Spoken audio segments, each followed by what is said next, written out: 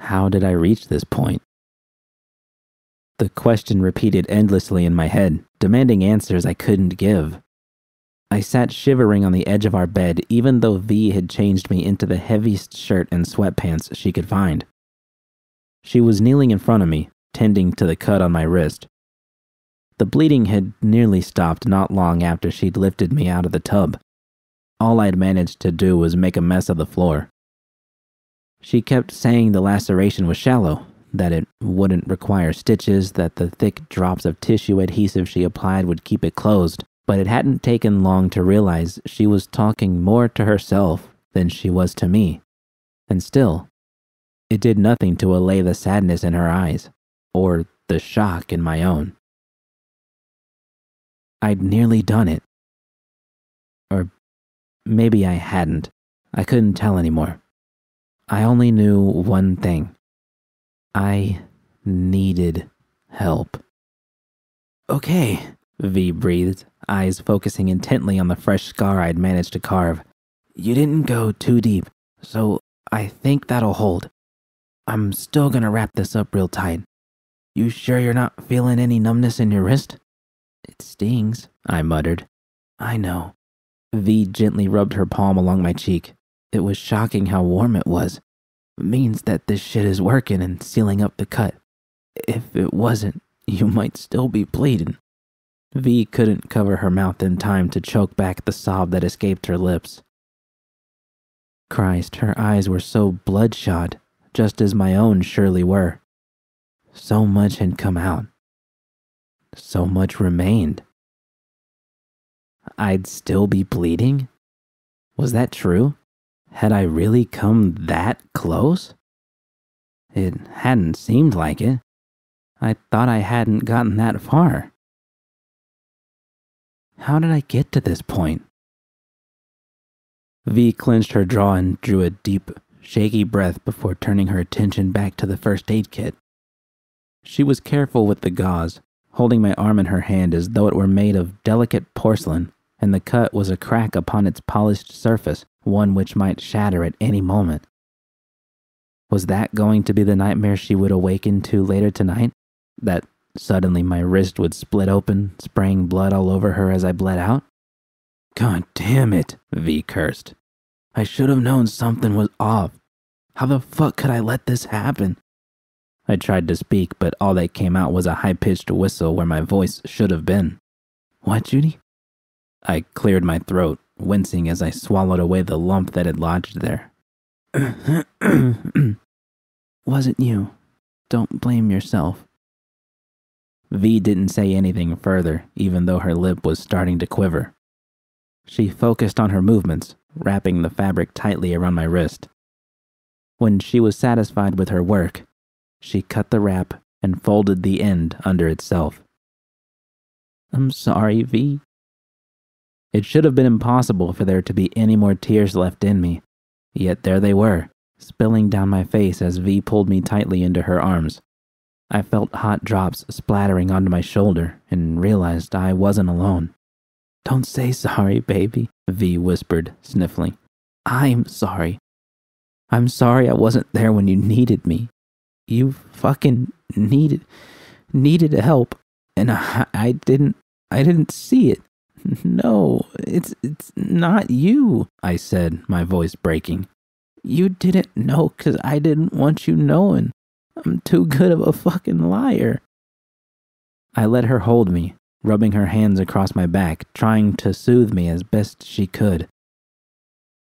More than anything, I wanted to do the same for her. But I couldn't. I needed this. More than ever before more than I could have ever admitted. I needed to feel safe. I'd tried so hard to be strong for her, for myself, but I just couldn't do it anymore. Couldn't live like this anymore. The floodgates that had been locked up inside of me for so long had suddenly burst open, and unlike my wrist, which V had managed to seal shut, there was nothing I could do to close them again. They all know now. V pulled away, keeping her hands on my shoulders. Her eyes were desperate for answers. What do you mean they all know? Wh- what happened? Please tell me, Judy. Please don't keep me out anymore. I felt the words dancing on the tip of my tongue, just as they had done so many times before. But this time, they came out of me with such ease that it was shocking to hear myself speak them. The filter I'd relied upon for years had seemingly washed away with the rest of the lies. V, th- they fucking scrolled it. What they did to me, you understand? They, they scrolled every fucking second. And it's out there now, on the streets. Anyone who wants to go at me, all they gotta do is drop some eh, eddies for my own XBD, and they can fuck me any way they want. Find out all about Lizzie's secret. That's what they called me. Only now there's no secret at all. Shit, V, they did it to get back at us for getting Evelyn out of there. They threw your name out at the end, said some terrible shit, said they would see us both again soon. Fuck, even right now, there's creeps all over the city probably jerking off to it. Stop, please. What? Stop? Why? She had just told me to let her in. Why was she. Oh my god. V. I hadn't considered how much it would hurt her to know she would not only be sharing me with everyone who stumbled across the XBD, but that they had taunted her at the end, making the whole thing out to be her fault. Why the fuck hadn't I thought about her feelings? The agony in her eyes had been building as I went on until finally I'd succeeded in breaking her. She'd never listen to me again. My cheeks burned with shame as V placed her hands on them and brought her face close to my own. I should have been stronger for her. Thank you, Judy. I blinked. What? Even though tears continued to stream from her eyes, the corners of her lips turned upward, forming into. Was that a smile? It couldn't be. Not possible. Thank you for finally opening up to me. I I know it's hard, baby. Believe me, I fucking know. But I'm so proud of you. Do you hear me? I am so proud. I shook my head. This wasn't right. She was just scared, saying what she thought I needed to hear until she could call that hotline and ship me off to some asylum where I belonged. She knew how hard it was? Please, how could she understand? It wasn't possible. Was it? What did it say that, after years of living together and sharing our lives, there were still secrets locked deep inside of her? Secrets which she might have shared with me if I had simply asked. Was that why she had tried to bury away her fears with pills? V, listen to me. I am not gonna break, Judy. I'm stronger than you think I am.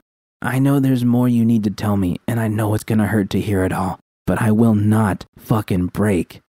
I promise you that. You don't know that, V. You're right. There's a shit ton more I gotta tell you.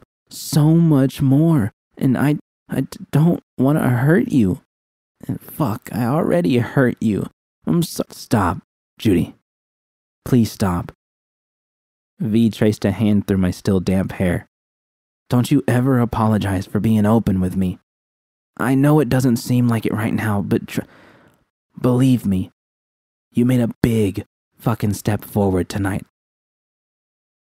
Forward? I'd just come within an inch of killing myself like Evelyn, and she thought this was a fucking step forward? As if all I had to do was simply build upon it and take another step? Right foot, left foot. I. I don't know where to start, V. V nodded, her face brimming with confidence as she wiped away a tear. We're gonna start at the beginning, where we both should have started right from the get go. But we're not gonna do this tonight.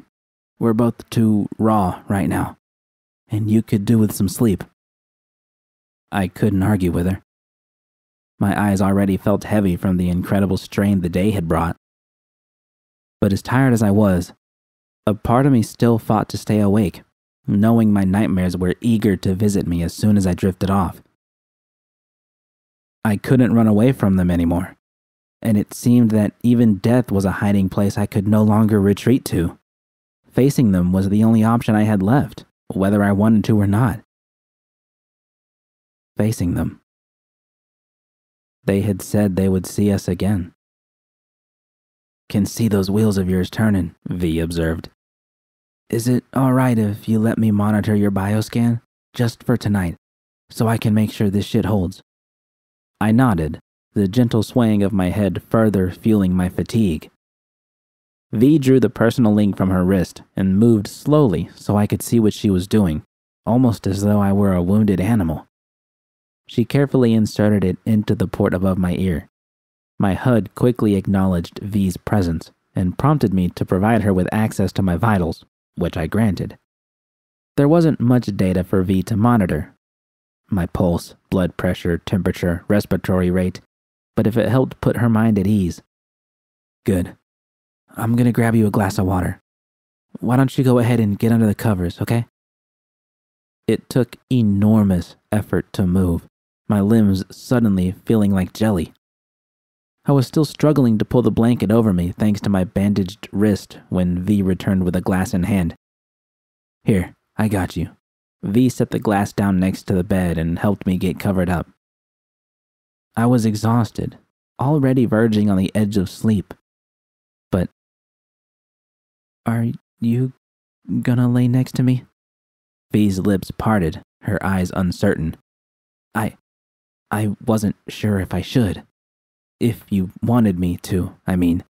The last thing I want to do is make you feel uncomfortable. This was the legacy of all my lies. She was walking on pins and needles around me, uncertain if she should comfort me or if she would only hurt me even more. This truly was my fault. But I needed her. She was safe, even when everything else had turned out to be anything but. I nodded, trying to hold my arms out to her, but failing. V quickly tugged her jeans off and climbed into bed next to me, sliding under the covers and wrapping an arm over me. My teeth were still chattering, but I quickly felt myself growing warmer, starting to slip away. Shh. Just go to sleep, I heard V whisper in my ear. I'll stay with you. My body was hypnotized under her words, eyes closing shut as V nestled closer.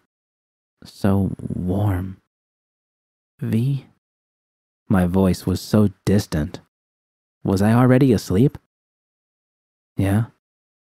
I gotta tell you something else. You don't gotta say another word tonight, Judy. Just close your eyes. You don't need to be afraid of anything. If I see you starting to have a bad dream, I'll wake you up. I'm gonna watch you all night long just to make sure. Would she? I'd done the same for her once before and had felt resentment afterward. Was that what she would feel tomorrow? Christ, I wanted to believe her so fucking badly, but could I really trust her to stay awake and watch me?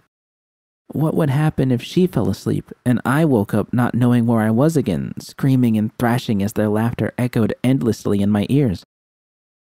But V was so safe. I'm glad you stopped me.